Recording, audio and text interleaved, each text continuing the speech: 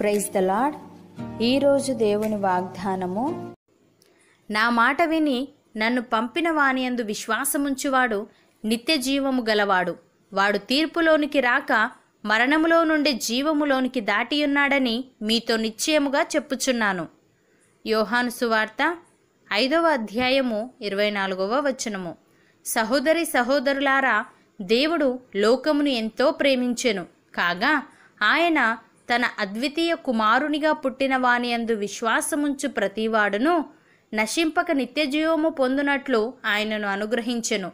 లోకము తన కుమారుని ద్వారా రక్షణ పొందుటకే గాని లోకమునకు తీర్పు తీర్చుటకు దేవుడు ఆయనను లోకములోనికి పంపలేదు. ఆయన ఎందు విశ్వాసముంచువానికి తీర్పు తీర్చబడదు. విశ్వసింపనివాడు దేవుని అద్వితీయ కుమారుని నామమందు విశ్వాసముంచలేదు గనుక వానికి ఇంతకు మునుపే తీర్పు తీర్చబడెను. ఆ తీర్పు ఇదే. వెలుగు లోకములోనికి వచ్చెను గాని తమ క్రియలు చెడ్డవైనందున మనుష్యులు వెలుగును ప్రేమింపక చీకటినే ప్రేమించిరి. దుష్కార్యము చేయు ప్రతివాడు వెలుగును ద్వేషించును. తన క్రియలు దుష్క్రియలుగా కనబడకుండునట్లు వెలుగునొద్దకు రాడు. సత్యవర్తనుడైతే తన క్రియలు దేవుని మూలముగా చేయబడి ఉన్నవని ప్రత్యక్షపరచబడినట్లు వెలుగునొద్దకు వచ్చును. ఏసయ్య ఈ విధంగా అంటున్నాడు తండ్రి నాకు అనుగ్రహించు వారందరూ నా యుద్ధకు వత్తురు. నా యుద్ధకు వచ్చువానిని నేనెంత మాత్రమును బయటికి త్రోసివేయను. నా ఇష్టమును నెరవేర్చుకొనుటకు నేను రాలేదు. నన్ను పంపిన వాని చిత్తము నెరవేర్చుటకే పరలోకము నుండి దిగివచ్చి తిని.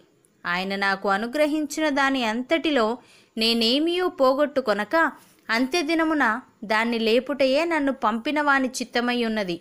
కుమారుణ్ణి చూచి ఆయన ఎందు విశ్వాసముంచు ప్రతివాడును నిత్యజీవము పొందుటయే నా తండ్రి చిత్తము. అంత్యదినమున నేను వానిని లేపుదును అని. ప్రియులారా ఇప్పుడు క్రీస్తు యేసునందున్న వారికి ఏ శిక్షా విధియూ లేదు. క్రీస్తు యేసునందు జీవమునిచ్చు ఆత్మ యొక్క నియమము పాపమరణముల నియమము నుండి మనలను విడిపించెను. ఎట్లనగా ధర్మశాస్త్రము దేనిని చేయజాలకపోయెనో దానిని దేవుడు చేసెను.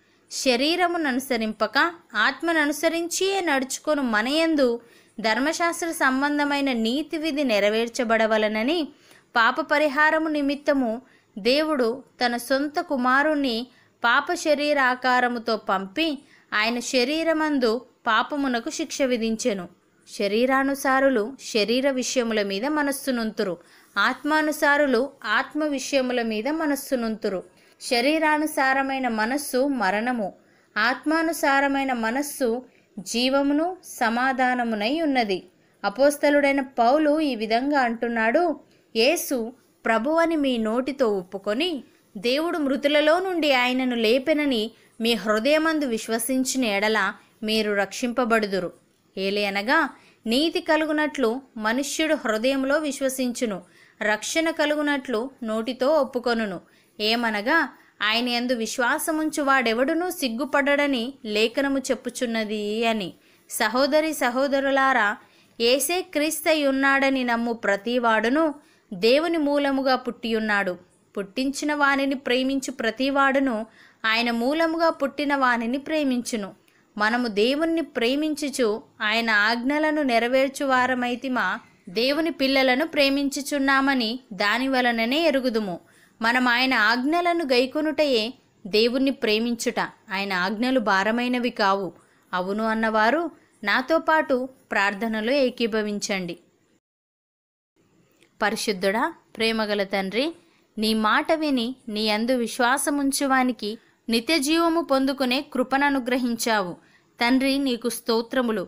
దేవా మేము శరీరమును అనుసరింపక ఆత్మను అనుసరించియే నడుచుకుని వారముగా ఉండుటకు సహాయము దయచేయమని నిన్ను ప్రేమించుచు నీ ఆజ్ఞలను గైకొనే వారముగా మేముండుటకు కృప చూపమని నామమున ప్రార్థిస్తున్నాము తండ్రి.